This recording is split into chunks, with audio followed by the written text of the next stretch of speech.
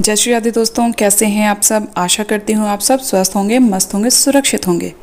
दोस्तों, अगर आप भी विवाह में आ रही बाधाओं को लेकर बहुत परेशान हो चुके हैं और इन समस्याओं से छुटकारा पाना चाहते हैं तो आज का ये उपाय आपके लिए ही है। हम सब जानते हैं कि यदि हमारे विवाह में लगातार डिले होता जा रहा है, बहुत प्रयास करने के बाद भी विवाह नहीं हो पा रहा तो इसके पीछे कारण हमारी कुंडली में ग्रहों का खराब स्थिति में होना या फिर पितृदोष का होना होता है। तो दोस्तों, आज मैं आप सबको ऐसा उपाय बताने जा रही हूँ जिसके करने से इन दोनों बाधाओं से मुक्ति प्राप्त होगी और शीघ्र ही विवाह संपन्न हो जाएगा।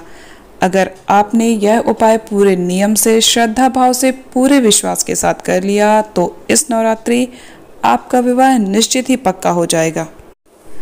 आपके मन चाहे जीवन साथी से आपका रिश्ता अवश्य ही जुड़ जाएगा। तो चलिए बिना समय गंवाए जानते हैं आज का ये करिश्माई उपाय। सबसे पहले तो यह उपाय आपको अमावस्या के दिन करना है। श्राद्ध पक्ष की अमावस्या 25 सितंबर को है। इस दिन अत्यंत ही शुभ संयोग बन रहा है। तो इसका लाभ आप भी अवश्य उठाइए। वैसे यह उपाय आप किसी भी अमावस्या पर कर सकते हैं, किसी भी महीने की, किसी भी पक्ष की अमावस्या पर किया जा सकता है यह उपाय। लेकिन श्राद्ध पक्ष की अमावस्या होने के कारण इसका महत्व अत्यधिक बढ़ गया है। इसलिए आप सबसे कहूँगी कि इस अमावस्या से यह उपाय अवश्य करिएगा। यह उपाय लड़का लड़की दोनों के लिए है। इसे बच्चे स्वयं अपने लिए कर सकते हैं या फिर माता पिता बच्चों के लिए यह उपाय कर सकते हैं। उपाय करने के लिए अमावस्या के दिन सुबह ब्रह्म मुहूर्त में उठें, स्नान आदि करके स्वच्छ हल्के रंग के वस्त्र धारण करें, काला व नीले रंग का वस्त्र ना धारण करें।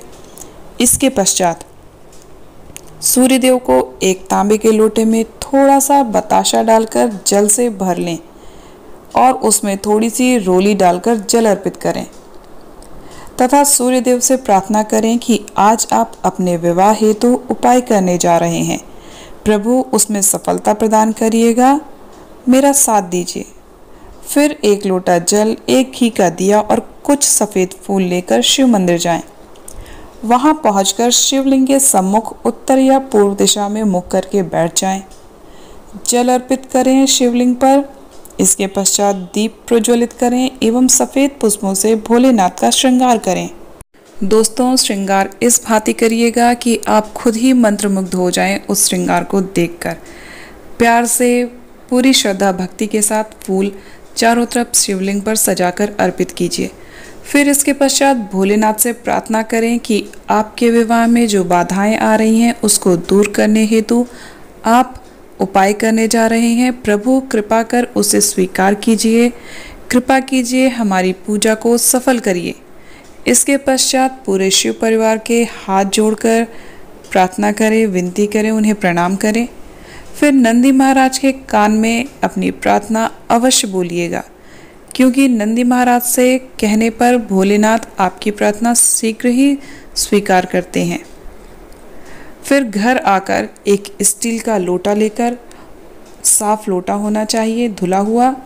उसमें थोड़ा सा गंगा जल डालें। पहले गंगा जल ही डालना है। फिर उसे शुद्ध जल से पूरा भर लें।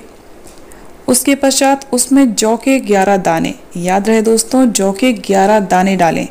साथ ही थोड़ी सी काली तिल उसमें डाल लें एवं एक बताशा डाल लें।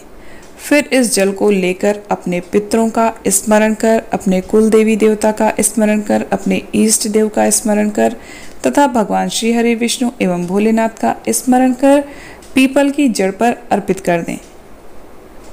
हाँ दोस्तों, सही समझा आपने। यह उपाय पीपल की जड़ पर करना है। मतलब पीपल के पेड़ के पास जाकर यह जो जल आपने बनाया है, इसे जड़ में अर्पित करते हैं लोटा स्टील का ही होना चाहिए। इसके पश्चात घी का एक दिया प्रज्वलित करें। फिर, ओम नमो भगवते वासुदेवाय मंत्र का जाप करते हुए पीपल के पेड़ की ग्यारह परिक्रमा करें। मंत्र एक बार फिर सुन लें। ओम नमो भगवते वासुदेवाय। इस मंत्र का जाप करते हुए पीपल के पेड़ की ग्यारह परिक्रमा करें। परिक्रमा पूरी होने के बाद पीपल देव से, अपने पितरों से एवं सभी देवी देवता से प्रार्थना करें। कि हमसे यह उपाय करने में जो भी गलती हुई हो उसके लिए हमें क्षमा करें तथा इस उपाय को पूर्ण करें। इसे स्वीकार करें एवं मुझे शीघ्र एवं मनचाहे विवाह का आशीर्वाद प्रदान करें। इसके पश्चात पीपल देवता के पैर छूकर घर वापस आ जाएँ, पीछे मुड़कर भूल से भी ना देखें। एक बात अवश्य ध्यान रखें यह उपाय सुबह आठ बजे से पहले पहले अवश्य ही कर लें।